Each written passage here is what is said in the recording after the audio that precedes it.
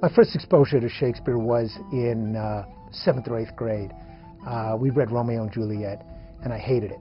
I didn't get it. I didn't get any of the dirty jokes that everybody else was laughing at.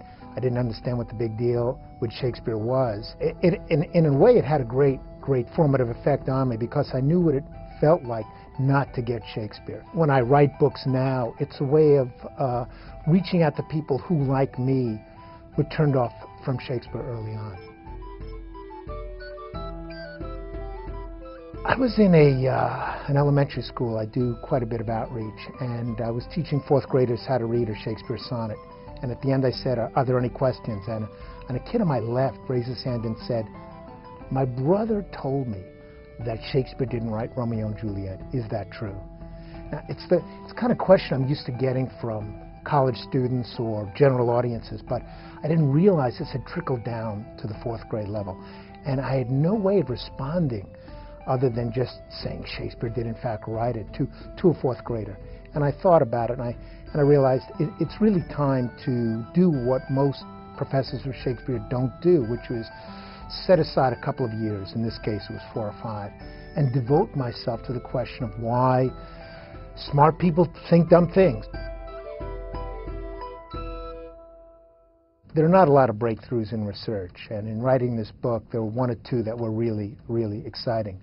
The first was going to the Durning Lawrence Library at the Senate House Library in London. And I held off on doing this until the, the very last few weeks of research for the book. Because the whole argument of my book is that no one before 1840, 1850 could have thought that Shakespeare hadn't written the plays long attributed to him. Yet there, were, there was a manuscript and two lectures dating back to 1805 and really 1785 suggesting that someone as early as that had come up with this theory. And I went into the library, called up the manuscript, and uh, it was carefully brought over to me by the librarian. And I started reading it. And in about 20 seconds, I realized I was looking at a forgery. And I started laughing aloud. And of course, all the other scholars in the rare book room gave me dirty looks. But I, it was really an extraordinary moment uh, happens once or twice in a career where you discover that something is not the case. And I realized how exactly the forger had tripped up. And that's the kind of thing that carries you for another five or six years of work. There are a lot of controversies that go on in our society over abortion, over creationism. I could think of a half dozen others. There are Holocaust deniers and, and, and the like.